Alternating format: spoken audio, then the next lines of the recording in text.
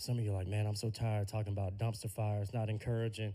Don't worry, we start the thrill of hope next week. And so make sure you come back.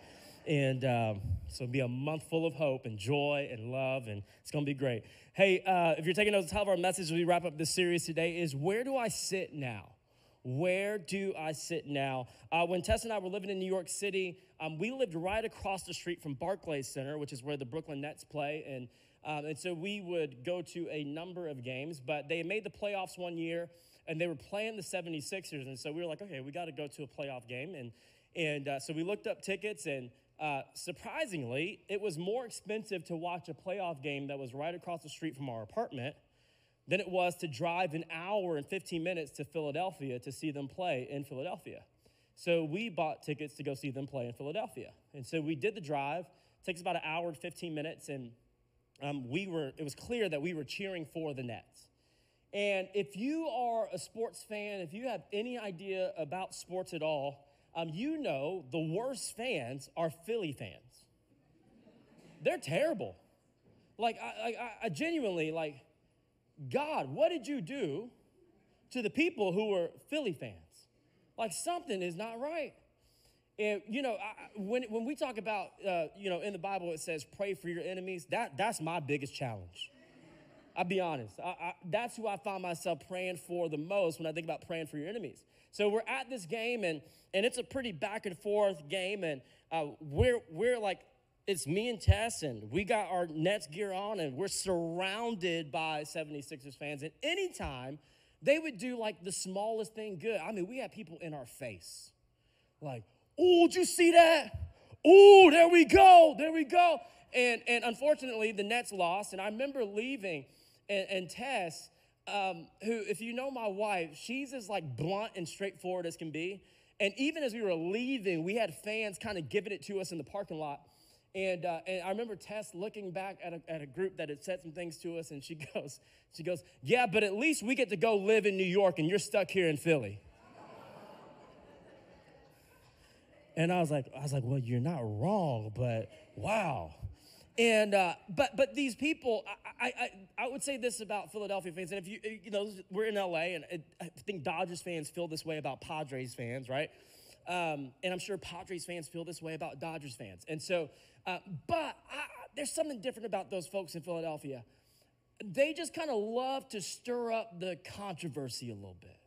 And I think we all know people like that, right? They, they like to kind of poke the bear a little bit, push the buttons, and they love to play devil's advocate. And whether they enjoy the tension or they're completely oblivious to it, one thing is clear if you want peace, don't invite that person. If you want calm, don't invite that person right? They'll bring up the taboo topic, they'll commit the social faux pas, or they'll say the thing everyone else avoids. And with them, there are two kinds of anxiety, right? The, the dread that comes before it happens and the fallout after it does.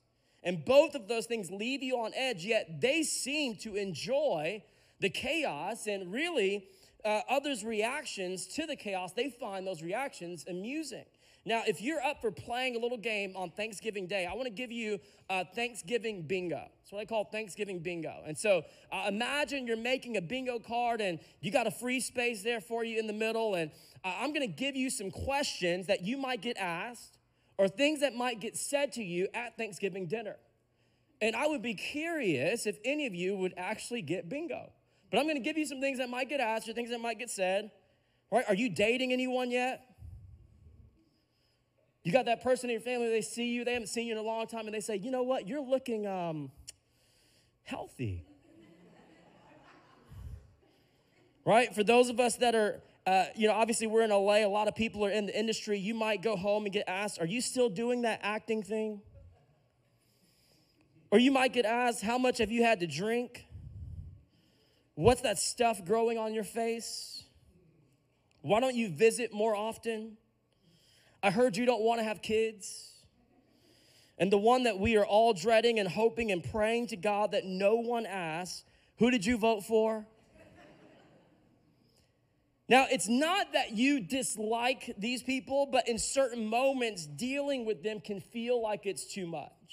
And while you can usually avoid them, some encounters are just unavoidable. And for many of us, the holidays are prime time for these moments.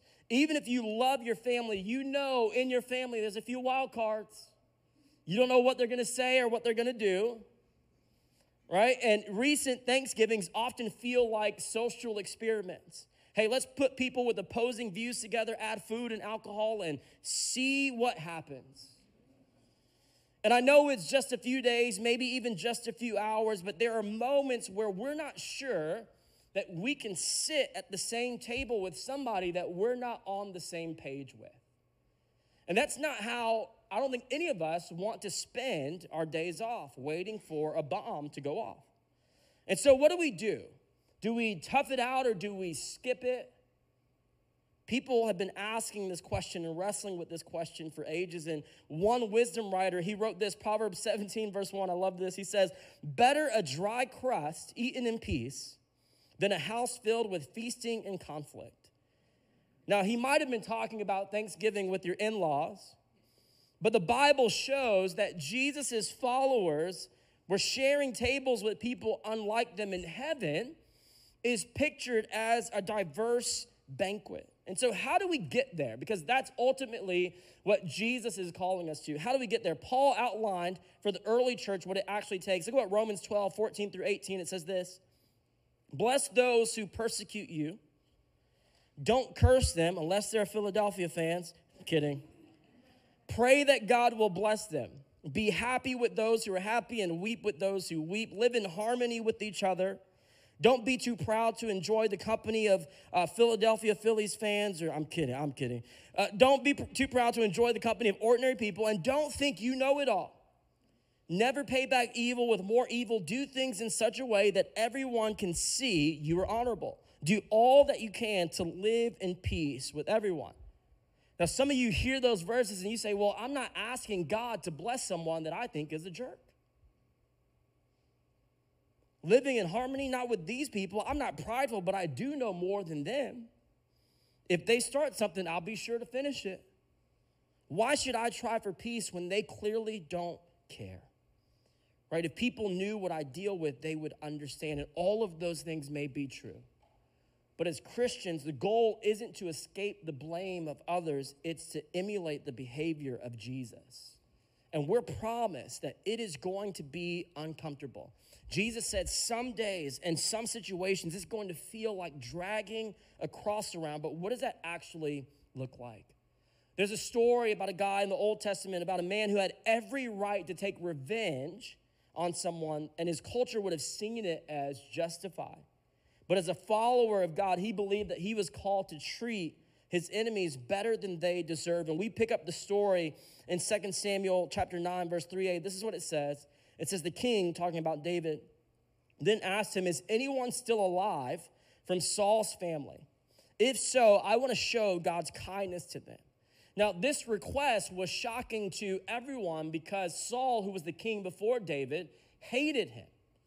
He said terrible things about him, things that weren't even true. He even tried to kill him. They weren't friends or on the same page yet. David's mindset was hey, is there anyone in this guy's family that I can show kindness to. Imagine having that mindset, right? What if instead of asking, How can I protect myself, we asked, Who can I be kind to and who can I bless? And if you're taking notes, you can write this down. To bless someone means to encourage them, to uplift them, to serve them, to resource them, to benefit them, to pamper them. That's what David is saying. He's saying, Hey, I, I know there was this guy before me who tried to kill me. He said terrible things that weren't true about me. He hated me. We were nowhere near being on the same page. But, but is there anyone in that guy's family that I could bless? Is there anyone in that guy's family that I could, I could love and, and, and show kindness to? Look at what verses 3b through 4 it says this. It says, Ziba replied, Yes, one of Jonathan's sons is still alive. He is crippled in both feet. Where is he? David asked in Lodabar, Ziba told him, at the home of Machir, son of Ammiel. And so Jonathan was Saul's son, making the guy that they're talking about, Jonathan's son, Saul's grandson. He's not even named at first, he's just described as the guy who's crippled in both feet. And sometimes we do this too, right? We tend to define people by one noticeable trait or flaw. Maybe you've heard nicknames like Uncle Unibrow or Grandma MAGA, right? It's shorthand, but it can keep us from seeing someone as the multidimensional person that God has made them to be in his image. And in this story, it goes deeper because there's a king's family that was expected to be noble and strong, and Jonathan's son has been crippled since childhood. And he was seen as too broken to belong, and his injury wasn't his fault. It happened when he was just five years old. As his nurse fled during a violent power shift, she fell on him, crushing his legs, and this left him banished from the palace and everything good in his life. Could you imagine being banished from your home and really your identity because of something that happened to you that was not your fault? That's what happened to Jonathan's son. And when David finds him, he's living in a place called Lodabar. Now, the meaning of Lodabar means no pasture or a place of no words. And many theologians believe that it's a metaphor for deep pain and hopelessness. It's where the brokenhearted go to hide and give up. But look at what verse 5 says. It says, So David sent for him, Jonathan's son, and brought him from Machir's home. And so this young man, he'd stayed hidden off the radar. Then one day, King David's men show up to summon him to the palace. Imagine that journey, how long it felt, the questions he might be asking, and the things that are racing through his head. He probably assumed that he was being brought to his execution, and it was common to get rid of, for a new king to eliminate anyone connected to the previous ruler to secure the throne. And I can imagine that Jonathan's son, his stomach was in knots every moment, stretching endlessly. And I think we've all had moments like that too, where we've been overcome with dread on the road to see that relative, to see that family member that we don't see eye to eye with. The tension starts days before. You regret committing to it in the first place. You don't want to see them, sit by them, or be near them. The conversation is going to take a turn, and you know that someone's going to say the wrong thing, and chaos will follow, and passive aggressive comments, and eye rolls, and snide remarks, and it's inevitable. And you're not afraid that they'll kill you, but part of you would rather not face this dinner. And before you know it, you're pulling into the driveway, and it's too late now. Look at what verses 6 through 7a say. It says, His name, Jonathan's son, was Mephibosheth. He was Jonathan's son and Saul's grandson. When he came to David, he bowed low to the ground in deep respect. David said, Greetings, Mephibosheth. Mephibosheth replied, I am your servant. David says, Don't be afraid. Now, when someone is afraid, the logical thing to do, or the best response, is to yell, Don't be afraid. Now, I imagine Mephibosheth lying there, heart racing, expecting the worst, but then the unexpected happened. Look at what verse 7b says. It says, I intend to show kindness to you because of my promise to your father Jonathan. I will give you all the property that once belonged to your grandfather Saul, and you will eat here with me at the king's table. A long time ago, before Mephibosheth was crippled or David became king, David made a covenant with his friend Jonathan. David promised to care for Jonathan's family when he became king not because of anything they did, but because of what Jonathan did. And this act of kindness reflects God's grace. Just as God extends kindness to us, we're called to extend grace to others, giving better than what they deserve. And this is not a suggestion from God. It's not a, hey, I think it'd be great if you would give better than someone deserves when you feel like it. No, no, no. It's a command from God. Look at what John 13, 34 to 35, Jesus says this. He says, So now I'm giving you a new commandment love each other just as I have loved you. You should love each other. Your love for one another will prove to the world that you are my disciples. He says this ought to be a defining trait of those who say they are following me. How you love others should be a defining trait of those who say they are following me. And I wonder if this is the way you treat others. Does it show that you're a follower of Jesus? When you sit down to a meal, do your words and actions reflect Christ's love, or do they reflect more of your political views or how you feel about someone else? Christ like love is not just how you love, but it's who you love, showing kindness to those that you'd rather not be kind to. Look at what 2 Samuel 9, verse 8, it says this Mephibosheth bowed respectfully and exclaimed, Who is your servant that you should show such kindness to a dead dog like me?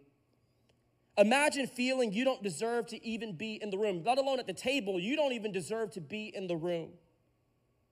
Thinking everyone will whisper about you once you leave, yet the one person who could shame you instead chooses to encourage you and to honor you. And I know as, as, as, as soon as we started this message, some of you have already thought about the person that you can't wait to not see. But could I maybe just give us a different perspective? What if that person that you are dreading finds themselves feeling like Mephibosheth? Knowing that, man, I, I know these people probably don't even want me in the room. They probably don't even want me at the table. And whether it is warranted by them or not doesn't matter. It doesn't matter to Jesus, it doesn't matter to God. And so I wonder if that person that popped into your head that you were so excited to see on Thursday, what if they find themselves feeling like Mephibosheth does? And what if instead of choosing to not model how Jesus loves us or extends grace to us or is kind to us, what if we modeled what David modeled and really what Jesus does, instead encouraged and honored them? That's what God does for you, and now we're called to do the same for others. And of course, you don't have to, and no one would blame you if you didn't. That's what makes it so powerful. And you might wonder how far should we take this? Look at what verses 9 through 13 say. It says, Then the king summoned Saul's servant Ziba and said, I've given your master's grandson everything that belonged to Saul and his family. You and your sons and servants are to farm the land for him to produce food for your master's household. But Mephibosheth, your master's grandson, will eat here at my table. Ziba had 15 sons and 20 servants. Ziba replied, Yes, my lord the king, I am your servant, and I will do all that you have commanded. And from that time on, Mephibosheth ate regularly at David's table, like one of the king's own sons. Mephibosheth had a young son named Micah. From then on, all the members of Ziba's household were Mephibosheth's servants, and Mephibosheth, who was crippled in both feet, lived in Jerusalem and ate regularly at the king's table. And can I tell you, I know that, that, that you're probably um, already dreading a, a part of what Thursday is going to be like, but can I tell you, there is a God who had every reason to dread us showing up. But rather than dreading us showing up, he, he couldn't be more thrilled. He said, Oh my gosh, I've been waiting for you to come home. I know you don't feel like you deserve a seat at my table, but can I tell you, I, there's always a seat for you. There's always going to be a place for you. That's what Jesus does for us, and that is what David is doing for Mephibosheth. David goes to great lengths to honor someone that everyone expects him to kill. And the story reminds us that Mephibosheth's brokenness wasn't fixed by David's kindness. And similarly, I think we hope that showing grace to difficult people will inspire them to change, but that may not happen. If you're taking notes, you can write this down. True grace doesn't give to get, it gives because giving is good. And so don't give grace simply because you want something to look different.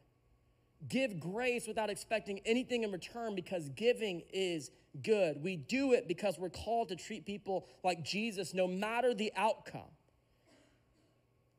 And you might be thinking, well, the people I'm dealing with have worse issues and physical brokenness like Mephibosheth, and I get it. So uh, let's get practical as we bring this to a close today. I want to give you six practices to help you treat difficult people with kindness uh, over the holidays. If you're taking notes, the first thing is this make a game plan.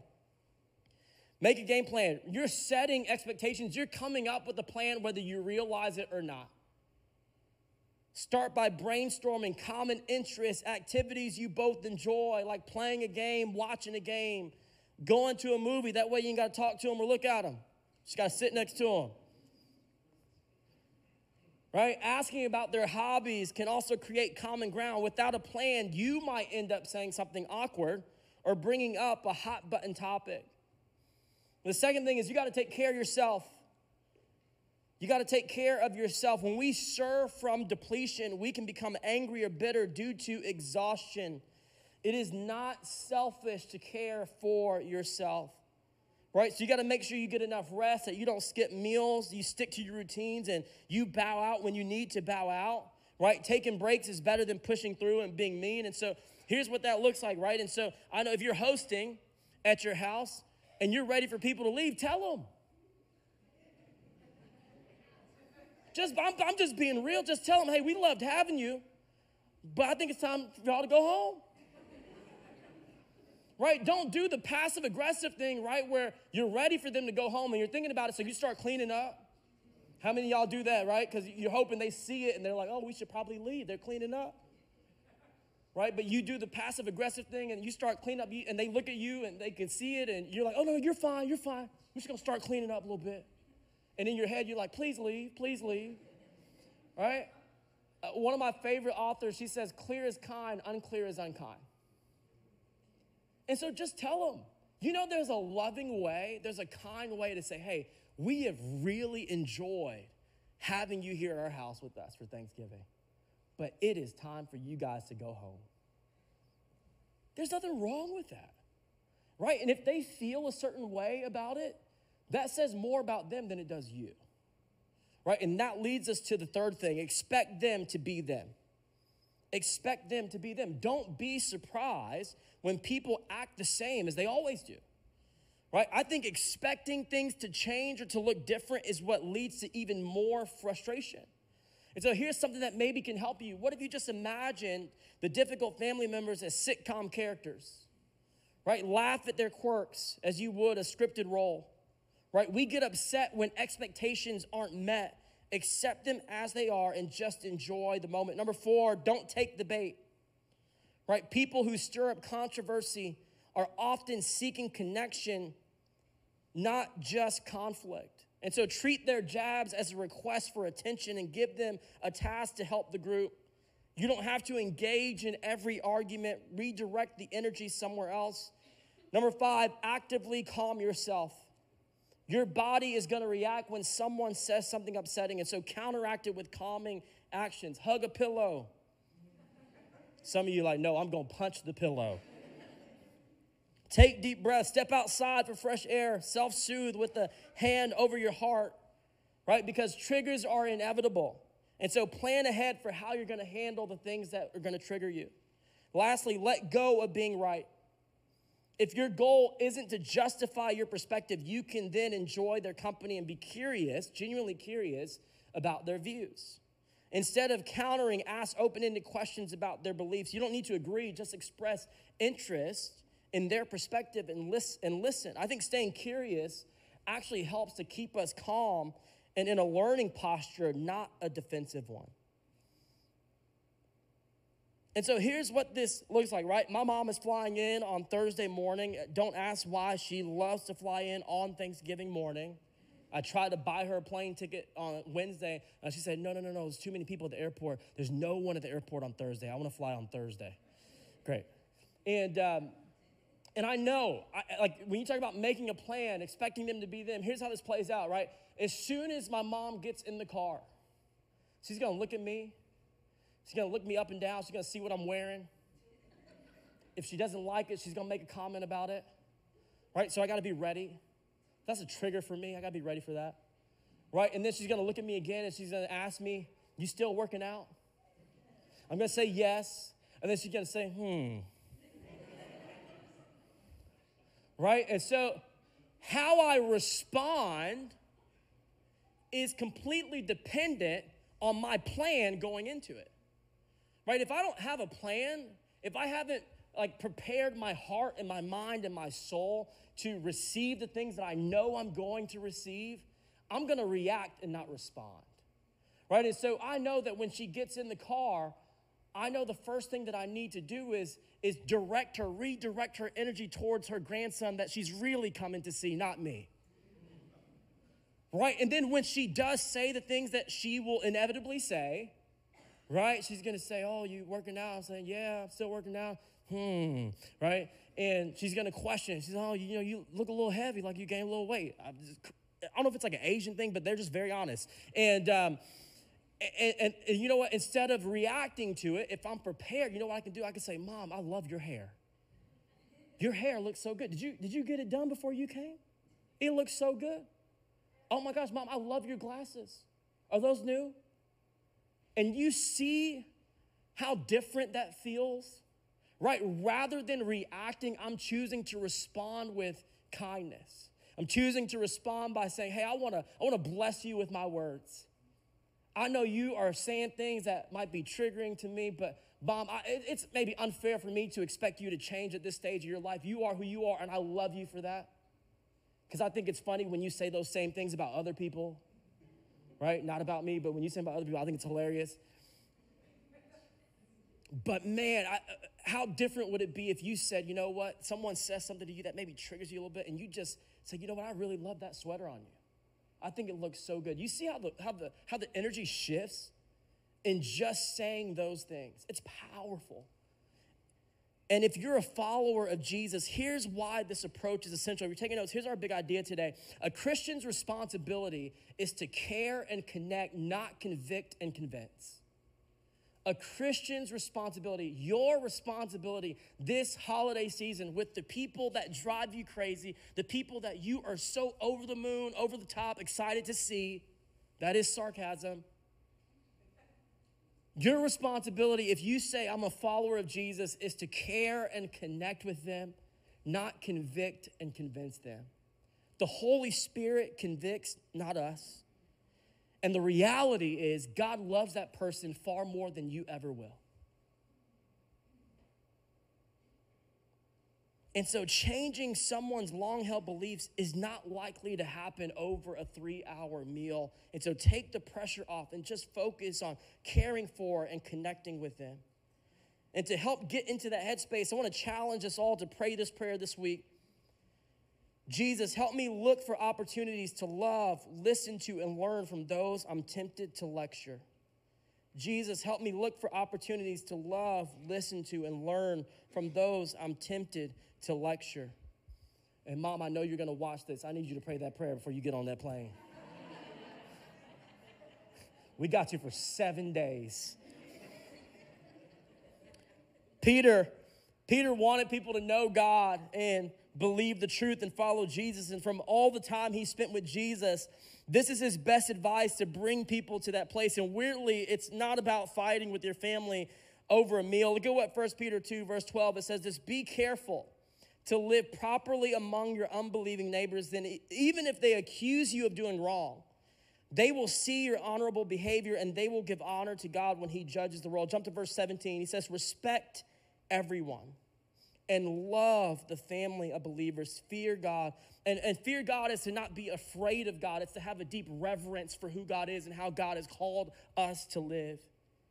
And if we do, we would not just respect him, but we would end up respecting everyone that God has put in our life. And I wonder, what if that were our goal this holiday season? That this would be everyone's experience of you. What would that do for them? What would that do for you? What would that do for their view of God?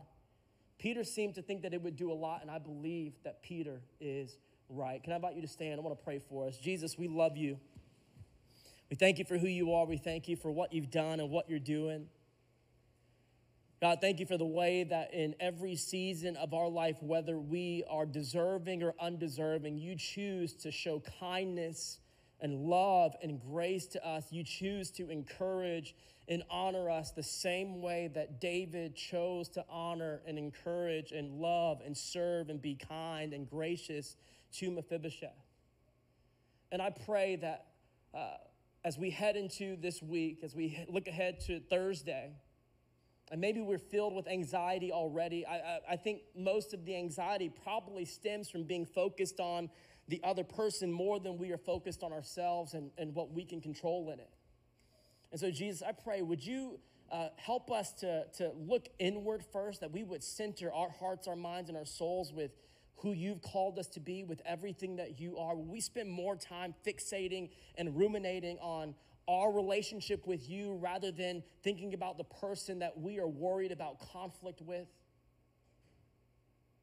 And in that space, as we kind of focus and center ourselves with you, I pray that you would fill us with your peace. The Bible tells us that you give us a peace that surpasses all understanding, meaning it does not make sense to us in this world, but we know it when we experience it. And the beautiful thing is, we don't just get to experience it, but God, I believe that we can usher in that same peace. And so, would you help us? Would you help us to recognize that every single one of us probably finds ourselves at different rooms, at different tables? Feeling just like Mephibosheth.